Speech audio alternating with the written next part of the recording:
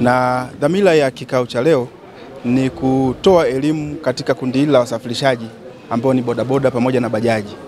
Na sababu ya kutoa elimu hii ni kwa sababu eh, kwa mwaka 2023-2024 kulikuwa na mabadiliko ya sheria ambayo yaligusa eh, viwango vya kodi katika vyombo vya, vya moto na bodaboda wakiwepo eh, kiwango chao cha kulipa kodi kiliwekwa pale ambacho ni shilingi elfu sitini na tano kwa mwaka mzima ambayo ni sawa na kama elfu kumi na tano kwa kipindi cha miezi mitatu. Kwa hiyo pamoja na hayo, na wafanyabiashara wa bodaboda pia wanatakiwa kulipa kodi na walikuwa wakilipa siku zote e, watu wa bajaji kwa shilingi laki moja na themanini, sasa hivi ni laki moja na ishirini. Kwa hiyo kwa tumeona ni vema kukutana na kundi hili kwa sababu ya kushirikisha uelewa wa sheria za kodi kabla ya kuanza kuwatoza kodi. Kwa hiyo lengo kuu kabisa la kuhakikisha eh, la kukutana na hiki kikao ni kuhakikisha kwamba eh, wafanyabiashara hawa wanapata hiyo elimu, lakini kujua uhalisia wa kodi hii ni kwa ajili ya wamiliki na sio waendesha bodaboda. Pamoja na tunatambua leo wamiliki pia wako hapa Ndio. yeah. Sawa. E, pamoja na kwamba katika e, mkutano huu tumeita watu wote wamiliki pamoja na waendesha bodaboda. Lengo ni kwamba kwa sababu uh, wanaokuwa na vyombo hivi ni waendeshaji, na endapo kutakuwa na namna yoyote e, chombo hiki akijalipa kodi na operation yoyote ikafanyika ya kukamata, atakayeanza kuathirika ni yule mwendeshaji, na ndio maana tumeamua kuwashirikisha nao wapate elimu kwamba wanapaswa kumjulisha mmiliki wa chombo hicho kwamba ana jukumu la kulipa kodi ili yeye awe salama kuendesha hicho chombo barabarani. na?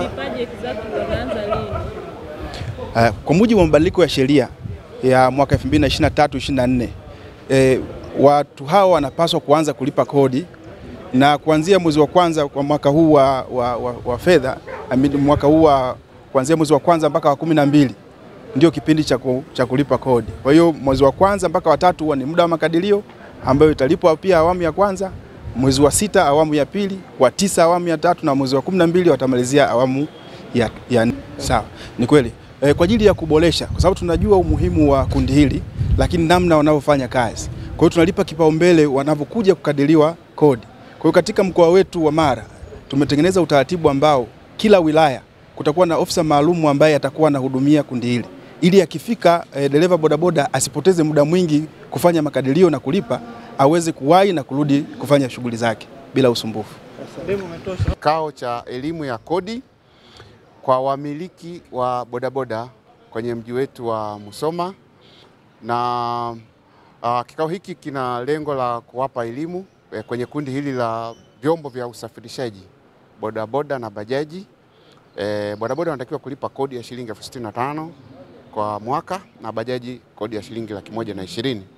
Kwa hiyo kikao chetu cha leo kilikuwa na hao wadau na tumezungumza kwa kirefu sana na wamefurahi kwanza kwa sababu e, tumewashirikisha, lakini pia wametushauri kwamba tuendelee e, kutoa elimu kwa, kwa wamiliki. Kodi hii ya vyombo vya usafirishaji bajaji na bodaboda inalipwa na wamiliki wa vyombo hivyo vya usafirishaji, sio dereva.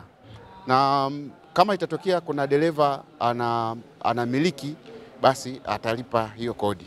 Kwa hiyo tunaomba sana tutofautishe kati ya dereva na, na mmiliki. Dereva yeye anatakiwa kulipa leseni na chombo kinatakiwa kilipie hizo hizo gharama za bima pamoja na mmiliki anatakiwa Ah, kama meneja alivyosema, jambo la kwanza lilikuwa ni kutoa elimu e, kuwakumbusha kwamba kuna hili jambo, na ha, hatua ya pili kama tulivyojadiliana hapo e, wao wenyewe watafika kwa sababu wame, wameambiwa wanatakiwa kulipa kwa robo mwaka shilingi elfu kumi na tano na mia tano na utaratibu ndio huo kwamba wanatakiwa wafike TRA ili waweze kupata ili waweze kulipia kupewa control number kulipia hiyo kodi. Kwa hiyo wito wangu kama tulivyokubaliana hapa e, waweze kulipa hiyo kodi bila kutumia shuruti. jini.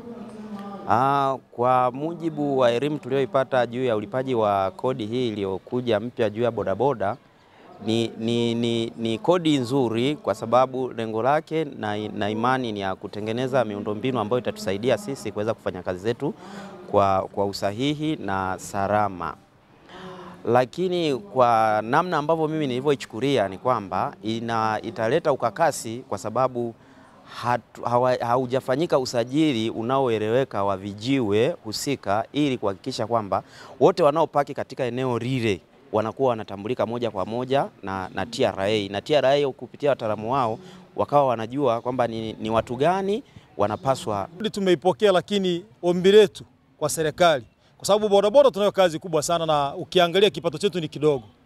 Hili pato la shilingi elfu sitini na tano tulikuwa tunaomba mama, kwa sababu ni msikivu, aweze kuturegezea ili kama ni LATRA basi elfu kumi na saba tubaje kwenye elfu kumi na saba kwa sababu elfu sitini na tano ukiweka na, ukiweka na leseni ya driving ina maana inakuwa ni mzigo mkubwa kwetu, hatutaweza kuilipa kimsingi.